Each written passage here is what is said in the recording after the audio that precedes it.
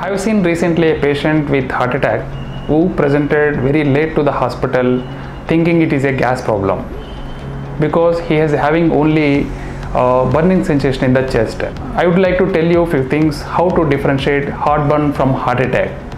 So what is heartburn? Heartburn is mainly due to the reflux of the acid from the stomach into the esophagus. So that will produce some amount of bitter taste in the mouth as well as burning sensation in the chest. So basically it is a gas problem. It occurs mainly after intake of heavy meal and heavy spicy and fatty meal.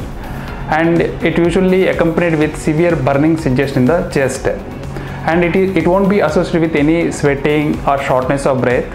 And typically it will respond with an, an antacid. Whereas in heart attack many patients usually will present with chest pain so that they will rush to the hospital immediately whereas few patients with heart attack they can present like an heartburn. So that will mimic like in a gas problem.